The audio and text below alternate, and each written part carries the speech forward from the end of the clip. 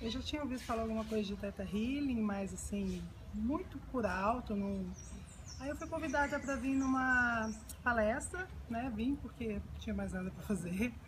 E cheguei na palestra, achei muito legal, assim, gostei muito da energia da Raquel, do Ron e da Laia, né? Achei tudo muito bacana, tudo que eu ouvia me tocava o coração, achei bacana, mas pensei em fazer o curso, mas fiquei meio na dúvida e eu tava com o pé torcido usando um RoboFoot, né? Aquelas botinhas.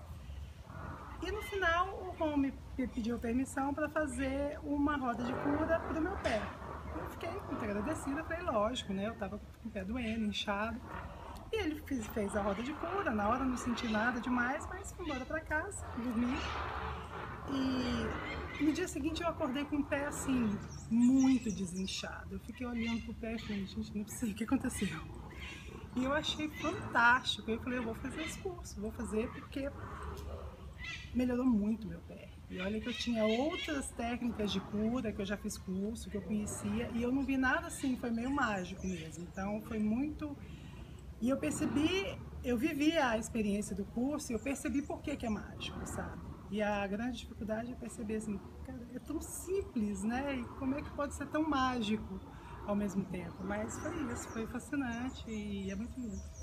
E eu tenho uma gratidão enorme a esse casal maravilhoso, essa família linda. Foi lindo. Gratidão.